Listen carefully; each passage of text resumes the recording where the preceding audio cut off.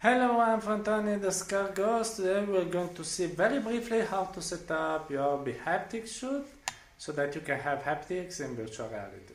So first things first, uh, when you receive your bHaptics kit, in this case I'm just showing you something for the Tactosy arm bracelet, but the first thing that you have to do with every gadget is just recharging it. So you can use whatever USB-C cable. So um, you can use whatever cable that is suitable for charging. There's USB-C ending. You attach it here to the box that every gadget has a box like this. Then you take a charger and you attach it to the power outlet. So this way you see that the light becomes red.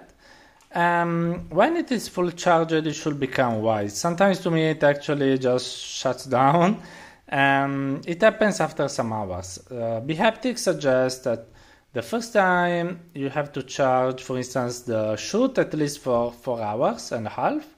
So evaluate these gadgets probably a bit less, but evaluate how much to leave them attached to the power outlet. So when you buy it, attach your gadget to the power and leave them for like an afternoon, and then the day after you can play with haptics in VR.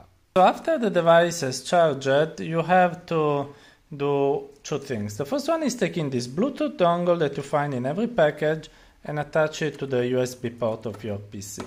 Notice that you'll find this kind of Bluetooth dongle in every accessory of bHaptics that you will buy, but you just need to attach one for all of them. So you don't need to attach a Bluetooth dongle for every bHaptic device. And after you have attached it, you can turn on the, the bHaptics device after, of course, you have worn it.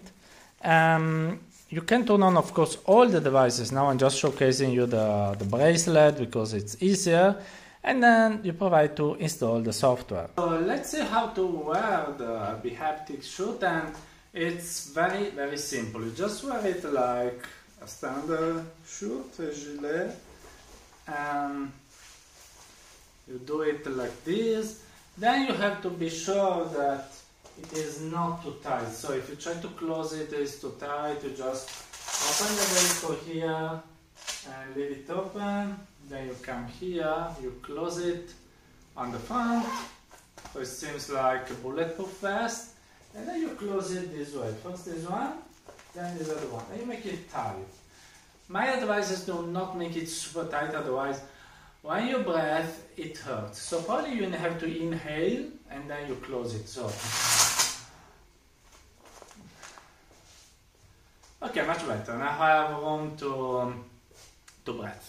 Wearing this is also very, very simple. You just have to put this one into this one. So to create like a bracelet.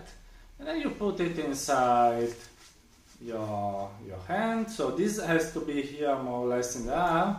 And then you pull it and you close the, the Velcro. And that's it. You have one hand. And do it in a on the other hand, you have two hands in virtual reality. Actually, this is not a hand, this is an arm, because the haptics has also some advice to give haptics to your hands. The only thing that may be a bit trickier to install is the facial interface, the one that lets you feel the headshots on your head. Luckily, there are the instructions that help you in the process, but basically it is very uh, simple to install it as well. So what you have to do is to remove your facial previous facial interface. In this case, I had the special Luxi Labs one, but you can also have the standard one. And then use the Velcro to attach, of course, the part with the Velcro in the back here on your headset. So it's something quite simple. My advice is to make sure that this part doesn't go too much inside, otherwise you won't be able to breathe again in while wearing the bHaptics uh, faceplate. Um, here you have the face, vibrating face mask, it's pretty cool. Um, the only thing that remains here is the box with the Bluetooth and the computational power. So there are two ways that you can install it. If you want just to make a quick test of bHaptics, my advice is to leave it here like this.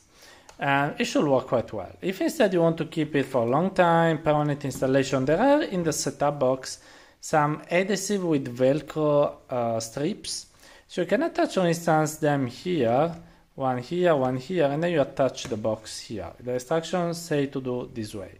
So you have a bHaptics always attached to your Vive. So uh, depends on when you want to use it, choose one approach or the other. Okay, so um, after we are ready for the hardware, it's time to download the software. So you have to go to the bHaptics website, then select support and make download. In the download, you find the bHaptics player, so select your version. I select the Windows 10, and then let me download the bHaptics player that you can set up like all the other software, you are running it, blah, blah, blah, blah. So after you have running it and uh, launched it, you will find the bHaptics software in your um, tray, in your system trays. After the download is over, it will launch automatically this thing that you can see in the right corner. It is the bHaptics player. So the management system for the bHaptics um, devices. If you can find it a second time that you launch everything, you can find it in the directory where you installed this. So in my case, program files, bHaptics player.x, and that's okay. So it's super cool because you can pair the various devices also off when you have turned them on. So let me turn it on everything again. So now these are the things for the, the arms and you see how it is. Just right click pair, right click pair, right click pair. It is not turned on yet. So let me turn it on. Right click pair. Okay. So now that everything is ready, it's cool that to also see the color of the devices. So this is blue and it is blue. But it is on the wrong hand, so swap. Okay. And now you can test everything. So I can test the left hand and you can see the noise. Okay, all the torso and you can see everything vibrating and so on. Also in the settings it is possible to find this testing mode where you can activate the, the part, some motors just by drawing them. So I can write a full path on my torso, going down, going up and so on. And it is very very interesting just to test uh, the device. After everything has been set up, you can go to experiences and then VR to find the compatible experiences with the bHaptic suite. Um, you can see that uh, some content is natively um, integrated with the device, others that have a trick that just emulates the music and translates it to haptic vibrations. So the higher the music, the higher the vibrations and so on. So here you can see what devices are compatible on PC or even on Quest. Some of them require some modding, some others will work out of the box. So after it, you can start the game, and have fun with vibrations in virtual reality. I hope this video has been useful for you to fight in virtual reality. If it is the case, please like and subscribe and say that the Skarredghost is the best VR enthusiast in the world. Bye bye.